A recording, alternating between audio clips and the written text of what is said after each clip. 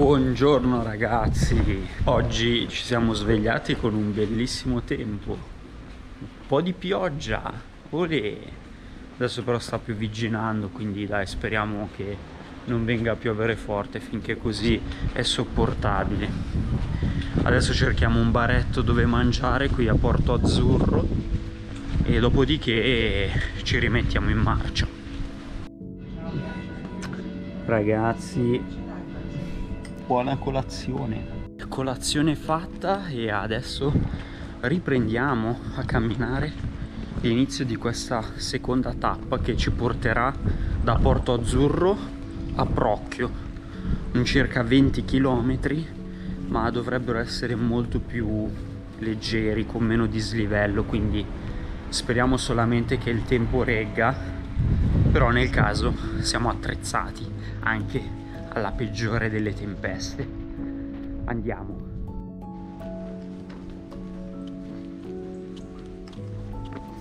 Raga, praticamente adesso quello che stiamo semplicemente facendo è andare a riprendere il sentiero della GTE. Questo è il sentiero che abbiamo fatto ieri per deviare dalla GTE e scendere a Porto Azzurro dove abbiamo dormito e adesso lo dobbiamo rifare per riprendere il sentiero madre che poi ci porterà a Procchio.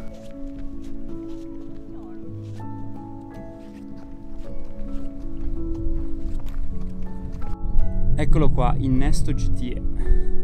Si prosegue.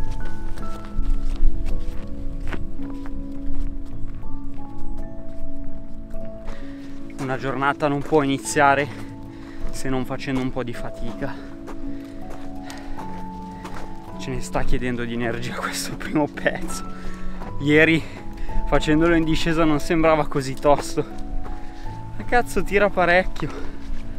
Abbiamo appena incontrato un cacciatore e aveva anche la, la faccia gentile, cioè quasi un nonno, no? Però cioè comunque, non so te, però un po' di disagio te lo mette addosso. Eh vedi un signore con, un, con una carabina qua. Insomma pensi al peggio eh poi non succede niente. Stava cacciando delle povere lepri poverette. Vabbè povero tamburino, povero tamburino. ed eccoci raga ritornati all'intersezione GTE riprendiamo il nostro percorso. Da cui siamo scesi qui abbiamo preso la deviazione per Porto Azzurro e da qui riprendiamo il nostro sentiero madre. Andiamo.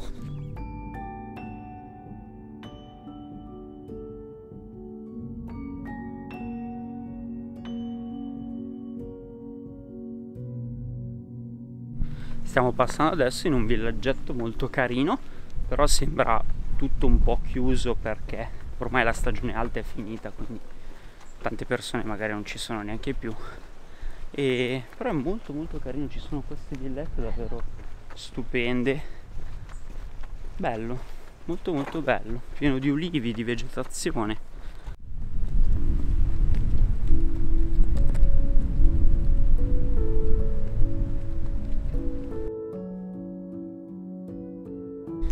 che bello passeggiare per questi ulivi, sembra di stare in Toscana. Ah, ma l'isola d'Elba è in Toscana. che pieno.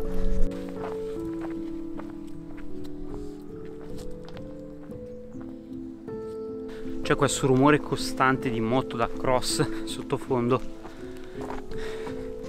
Ti fa dire, cazzo, ma adesso ne arriverà una. Come passerà di qualche sentiero è strettissimo però non arriva per adesso non arriva nessuna moto speriamo. Qua ragazzi un po' di colori dell'autunno che spettacolo.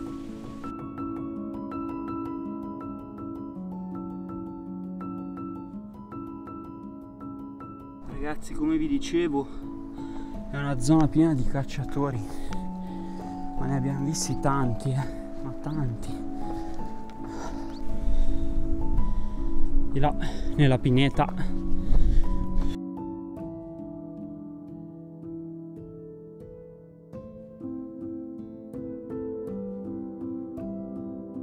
Olè, si comincia a scendere, dai. meno male, meno male. Se c'è una macchina che amo ragazzi, è il Pandino 4x4. È bellissimo. Ed ecco ragazzi, la vista su Porto Ferraio dove noi naturalmente non ci fermeremo perché andiamo dritti verso Procchio. Qui raga c'è un ranch. Ah, ecco il cavallo! Ma non l'avevo visto! Ciao cavallino! Ma ci sei? Ti hanno lasciato qui? Ciao, bellissimo! Ah, ti lascio mangiare, dai. Oh ragazzi che bello oggi ci sono stati è vero due tre strappettini abbastanza importanti però oggi si va via lisci stiamo tenendo un buon passo siamo forse a più di metà strada in due ore e mezza neanche abbiamo fatto già 10 km e passa dobbiamo farne circa 19 19 e mezzo. Bello oggi oggi è così relax, camminata relax, non bisogna sempre fare fatica, dai. C'è anche un piacere nel camminare. Ed è qui che facciamo la nostra pausetta. Oh, bella panchina. Pausettina ragazzi con mitico Ritte Sport con cioccolato fondente e nocciole. Tanta roba. Mmm. buono, sì. Possiamo mangiare 4, bar- 4 quadratini. Se ne mangio 8. Pausetta cioccolatosa fatta, adesso riprendiamo, abbiamo gli ultimi 6 km e mezzo di questa seconda tappa. Vamonos!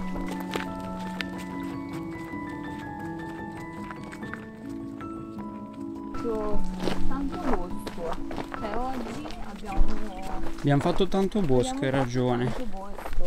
Sì, c'è stato tanto, tanto, sono stati tanto in mezzo alla vegetazione. Abbiamo fatto meno colli rispetto a ieri, ieri abbiamo fatto più colli. Sì, più punti panoramici. Più punti panoramici, quindi a livello di, di vista sicuramente migliore.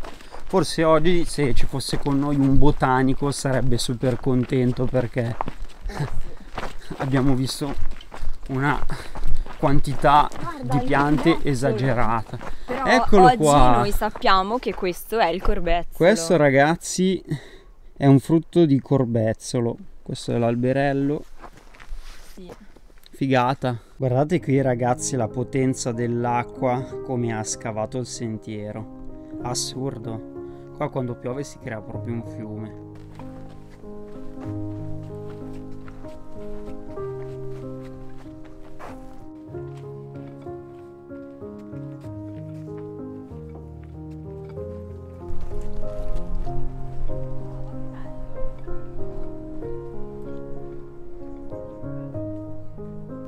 Abbiamo trovato un bivacco abbandonato sul sentiero.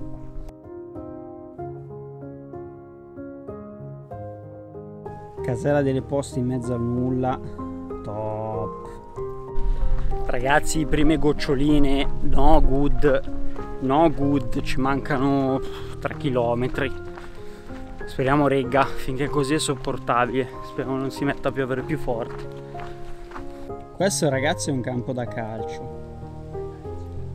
Cazzo sfiderei chiunque a giocare qua dentro, questa erba alta. Ale.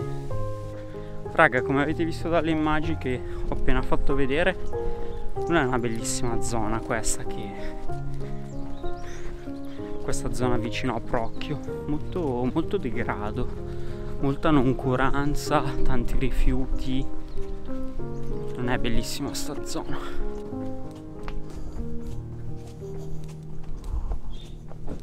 Eccoci qua ragazzi con l'intersezione sulla strada provinciale. Domani dobbiamo riprendere il sentiero qua e inizierà la nostra terza tappa. Però adesso noi scendiamo verso Procchio dove finirà la nostra seconda tappa. Andiamo al nostro Airbnb. Questo azzurro è il nostro Airbnb. Siamo arrivati. Buongiorno ragazzi, allora ci siamo docciati, abbiamo mangiato e quindi adesso vi faccio vedere questo spettacolare Airbnb. Allora, questa è la nostra stanza. Ragazzi, lasciate perdere il casino, che è davvero un casino. Comunque qua c'è un fighissimo pescione fatto con legni portati dal mare, un letto tutto quanto azzurro e poi ragazzi qua c'è una mappa fighissima praticamente dal, dal canale di Piombino il promontorio argentario. Qua abbiamo la nostra mitica isola d'Elba, cavo da dove siamo partiti adesso siamo qua più o meno. Di qua invece c'è il mitico bagnetto, raga che figata tutti questi dettagli. Qua hanno messo un remo in legno di fianco al water, davvero troppo figo poi proseguendo per la casa qui usciamo allora qui la cosa figa che c'è una rastelliera fuori da ogni porta da ogni stanza per mettere gli scarponi.